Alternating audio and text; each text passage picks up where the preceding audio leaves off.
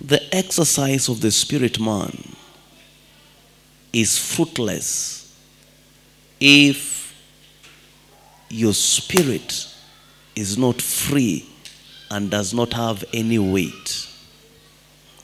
The Bible talks about the inward man and the outward man.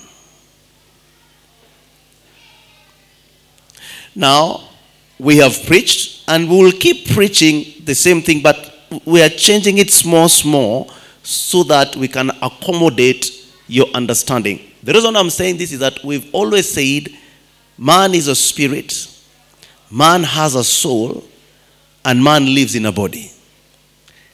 That statement is partly true, but part of it looks untrue or is not full truth. Because this is what we call the lesser light and the greater light. The Bible says the lesser light rule the day and the greater light rule the night. So it's not really untrue, but it does not have the intensity of revelation that it requires for our understanding.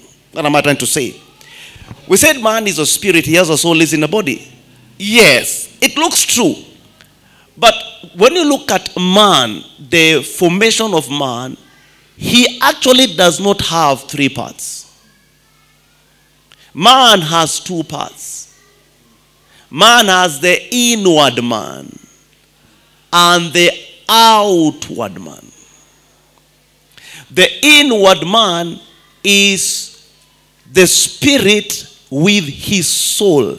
The soul is part of the spirit. Paul in Second Corinthians chapter 4 talks about the inward man and the outward man. The soul is the gate of the spirit man to the physical realm, and at the same time is the entrance of the, of the physical realm to the spirit realm. If, if you are to be delivered fully and demons don't, you know, attack you again, the place of the soul has to be handled. Man is a spirit in nature, whether he's born again or not.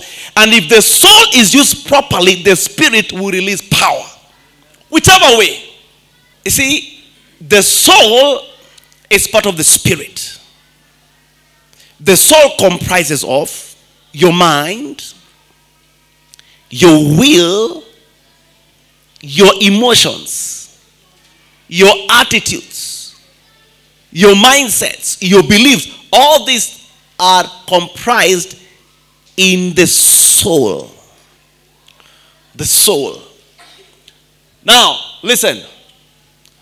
When God wants to touch your physical life, because God is a spirit, He cannot touch your physical life. He is a spirit. Okay? Are we together? Unaweza kuelewa? Uh, uh, uh, and this, this helps you to remove your mind from the teaching that God will do it. I just know God will do it. Is a lie. Is a lie. There is always a modus operandi through which things leave heaven to affect earth. When God wants to your physical life, your finances, your health, your whatnot, your whatnot, Him being a spirit, He cannot touch your physical life directly. His contact with your life is your spirit. So, what God will do, He will touch your spirit, not your body, not your physical life. Now, that touch is life. That touch is power. That touch is what? Is reality. But that touch cannot reach your physical life unless your soul grants it permission. Your soul is a bridge between what is spirit and what is physical. Your soul. So anything that will leave heaven and comes to your spirit must pass through your soul in order to be actualized in your physical life.